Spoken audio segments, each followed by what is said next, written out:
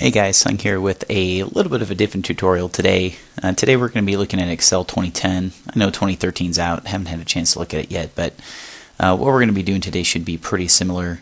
Uh, what we're going to do is work with conditional formatting, and this is actually for a friend of mine who has to do with a, a lot of lists, uh, different part numbers, uh, order numbers, those kinds of things. And uh, when you've got a large list of numbers that are, can be very similar to each other, how do you get uh, duplicates to stand out um, in the situation? So today we're going to take a look at conditional formatting and uh, get it to where you can see both of these end with 88. They're exactly the same number. They're highlighting. This column is highlighting. And uh, basically doing this um, so that my friend and anybody else can uh, use it to their advantage uh, in whatever it is that they're doing. It doesn't have to apply to part numbers, could be something else. Um, so use it if you can. So first thing we're going to do is I'm just going to clear all this out, come up to conditional formatting, which is under the home menu, say clear all these rules. And then we're going to go ahead and uh, do what we need to do. So in this case, I'm just going to start with what I know and I'm going to go ahead and go to conditional formatting, highlight rules. Um, going to go to equal to uh, because in this case we want to find things that are equal to each other. And I'm going to go ahead and say, okay, if this is equal to this one, and then what I do here is I actually take out this dollar sign. This will allow when we copy and paste for the 17 to be adjusted. Uh, and then I go ahead and hit OK. And uh, then I go ahead and do the exact same thing, but I do it for the cell that's below it, equal to, in this case 19. Okay, there we go and now you can see that it went ahead and highlighted uh, with the color scheme that we used. Now if I copy this and paste it in this entire range you'll see that uh, 19 here is going to show up. So I'm going to go ahead and right click, go to paste special. I'm going to do formats. There we go. Escape to go ahead and clear out the selection.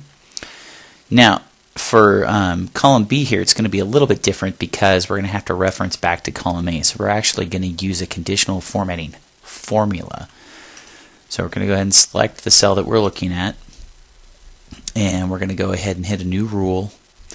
And we're going to select the rule type as use a formula to determine which cell to format.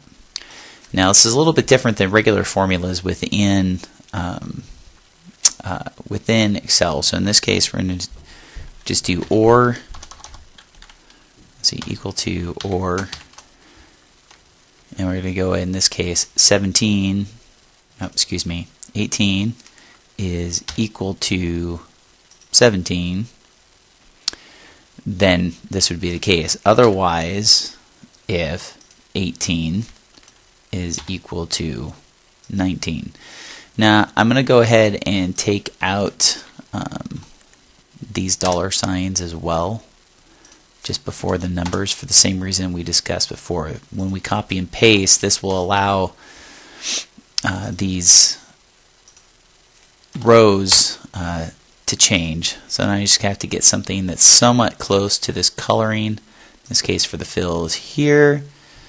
I'm going to go to font, change that font color to something a little bit darker. It's not going to be exact. I couldn't figure this out before.